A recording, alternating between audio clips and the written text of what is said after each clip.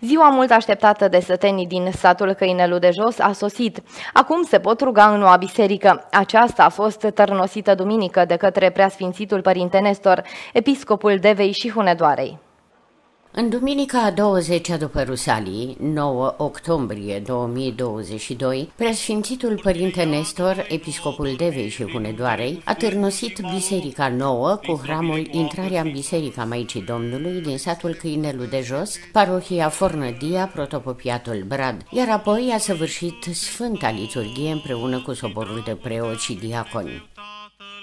Se sfințește biserica aceasta cu cramul intrarea în biserica Maicii Domnului, cu harul preasfântului Duh, prin stropire cu apă sfințită și prin ungere cu Sfântul și Marele Mir, în numele Tatălui Amin.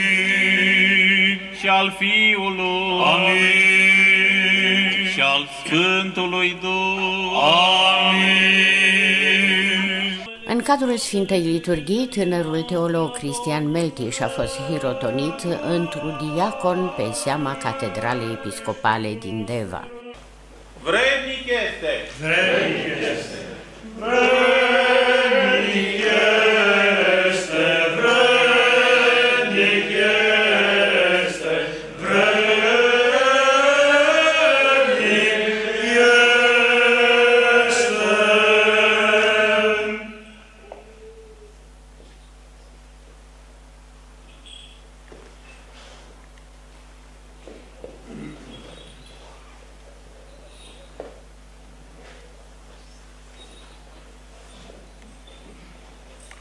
Axios.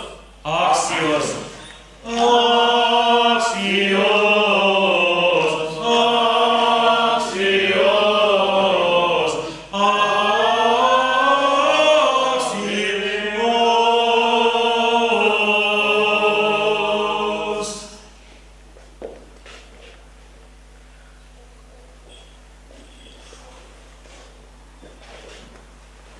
Dignus est. Dignus est. Dignus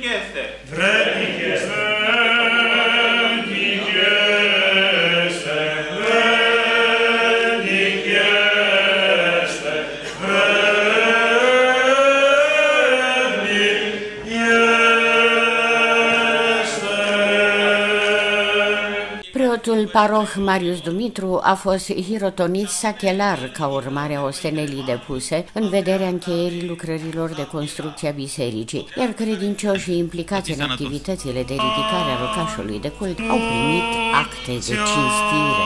Smerenia noastră prin harul întru tot Sfântului Duh te prohirisește pe tine preacucernice preot Marius Sachelar, în numele Tatălui și al Fiului și al Sfântului Duh. Amin.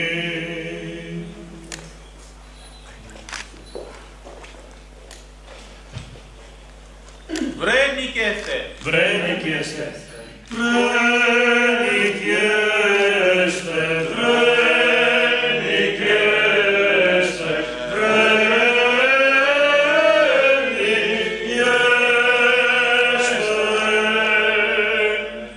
Axios. Axios.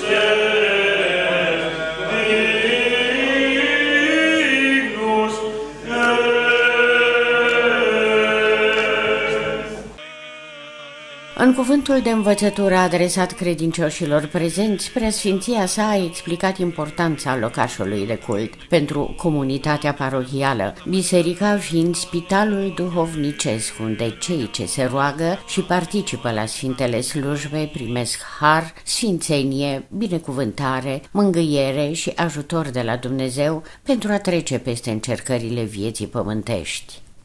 Iar pe dumneavoastră vă îndemnăm ca și de acum înainte, în număr tot așa de mare, să călcați pragul bisericii, pentru că la fiecare liturghie care se săvârșește în această biserică este o pogorâre de har care ne sfințește. Și Dumnezeu ne cheamă ca în orice duminică și sărbătoare, când preotul este la biserică, și noi să fim împreună cu El și noi să ne rugăm împreună cu El, pentru ca și noi să primim de la Dumnezeu această binecuvântare și acest mare har, așa cum s-a întâmplat și astăzi aici. De aceea vă îndemn ca acest moment și această dragoste și această râvnă pe care ați arătat-o astăzi venind dis de dimineață aici, să nu fie una care să se limiteze doar la acest moment, ci și de acum înainte, de câte ori este ziua Domnului, de câte ori este ceas de rugăciune, cu aceeași râvnă, cu aceeași dragoste, să vă îndreptați pașii spre Biserica lui Dumnezeu pentru a primi bucurie, pace și mângâiere.